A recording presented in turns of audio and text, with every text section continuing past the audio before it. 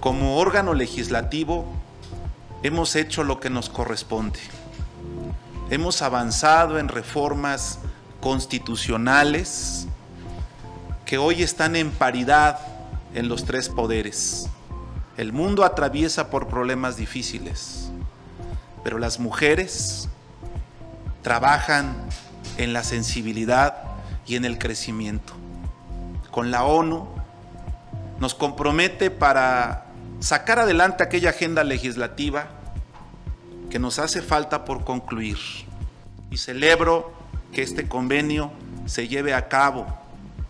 Tengan la certeza que el tiempo que nos queda frente de la mesa directiva y el tiempo que estemos como senadores de la República, la agenda de las mujeres no se puede postergar.